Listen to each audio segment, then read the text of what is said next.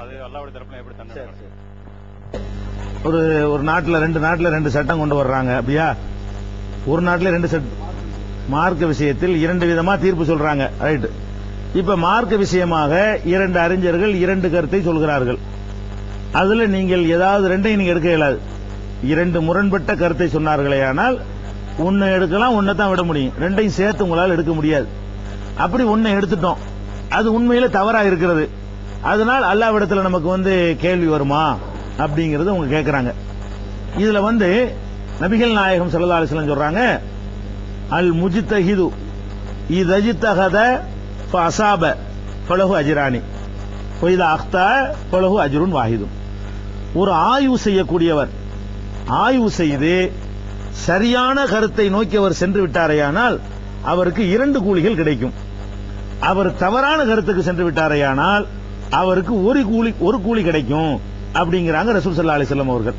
இது யாருக்கு சொல்றாங்க தெரியுமா? ஆய்வு செய்து தீர்மானிக்கிறவருக்கு தான் சொல்றாங்க. பின்பற்ற மக்களுக்கு சொல்லல. மக்களா இருந்தா கூட நீ என்ன செய்யணும்னு கேட்டா இவர் என்ன சொல்றார்? அவர் என்ன சொல்றார்? ரெண்டையும் வைத்து நீங்கள் அந்த சொல்றதை வைத்து நீங்க ஆய்வு செய்யலாம். உங்களுக்கு நேரடியா அந்த அரபி மூலத்தை பார்க்க தெரியாதவர்கள் நீங்க இருந்தீங்கன்னு சொன்னா என்ன பண்ணலாம்? இவர் என்ன ஆர்குமெண்ட் எல்லா ஆர்குமெண்ட்டையும் குறிங்க. அவர் என்ன ஆர்குமெண்ட் எல்லாத்தையும் குறிங்க. ரெண்டையும் வச்சு ஆய்வு பண்ணுங்க. நீங்களும் ஆய்வு பண்ணி அதை ஏற்றுக்கொள்ளணும் குருட்டுத்தனமா ஏற்றுக்கொள்வது மார்க்கத்தில் கூடாது.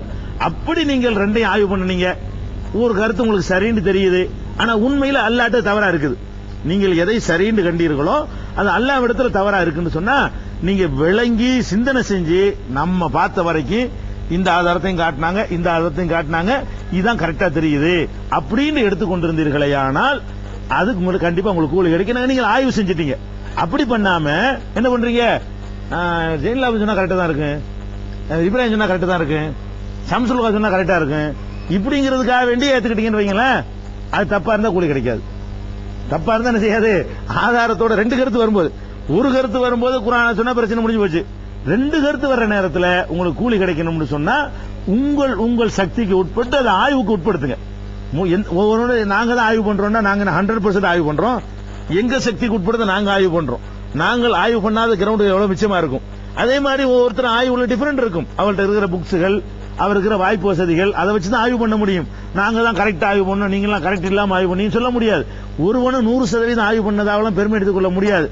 அவனவன் சக்திக்கு உட்பட்டு மனசாட்சிக்கு பயந்து அல்லாவுக்கு பயந்து இதுல இதுதான் நமக்கு தெரிஞ்ச வரைக்கும் கரெக்டா தெரியுது. எல்லா விதமான விருப்பு வெறுப்பை நீக்கிட்டு பார்த்தோம்னு சொன்னா இதுதான் கரெக்ட் அப்படின்னு முடிவெடுத்து செய்தீர்களே ஆனால் சரியானதை நோக்கி நீங்கள் சென்றால் ரெண்டு கூலி ஒரு தவறாக இருந்து விட்டா கூட நீங்க ஆராய்ச்சி தானே எடுத்துக்கிறீங்க. அதுக்கு ஒரு கூலி கிடைக்கும். கண்ணை மூடி பின்பற்றவங்களுக்கு அது கிடையாது.